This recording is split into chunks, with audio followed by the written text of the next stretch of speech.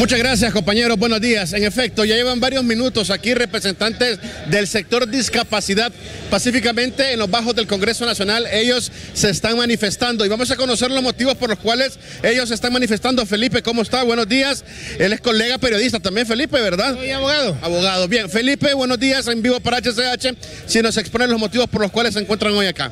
Eh, estamos en los bajos del Congreso porque uno de los motivos grandes es exigiendo el cumplimiento del proyecto de reforma a la ley. Un proyecto de ley que ya viene más de una década y se ha socializado, se ha hecho varias asambleas a nivel de país en este año.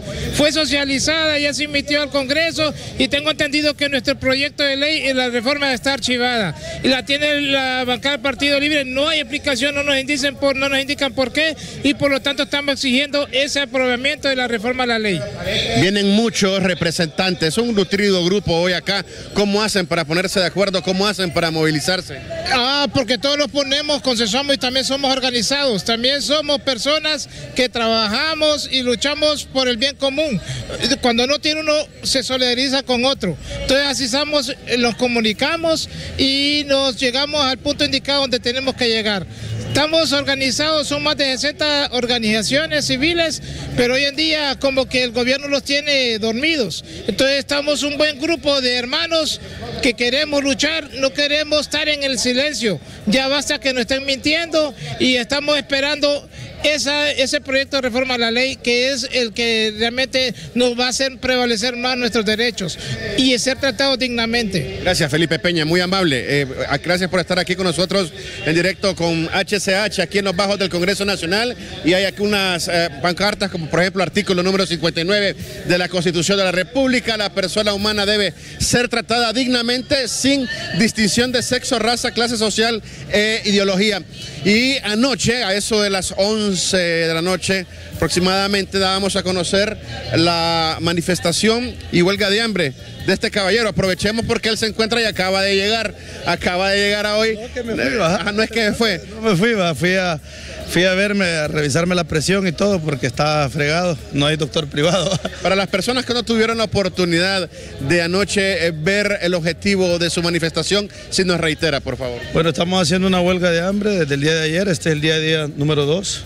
Eh, estamos viendo que nos den una cita de carácter de emergencia con el presidente Luis Redondo para que ya nos dimos cuenta de que nos puedan agendar nada más. Ya solo falta que nos agenden tenemos el, visto bueno. Ayer, después de HCH, el ministro de Finanzas nos dijo que si a él le mandaban la situación de que está agendado, que él, no tiene ningún problema para, para tenemos su nombre, a quién representa y cuántos son las personas de aprobarse las beneficiadas. Los beneficiados son muchos porque recuerde que nosotros somos un grupo de Honduras. Eh, nosotros llevamos 22 años, somos los embajadores de la cultura y el folclore hondureño. Mi nombre es Hermes Estrada, soy embajador cultural y soy el actual presidente del grupo.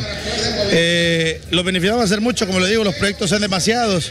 En el año nosotros hacemos tres giras al año, que si lo miramos a nivel de presupuesto, que es lo que estamos solicitando, nosotros hemos gastado el triple de eso.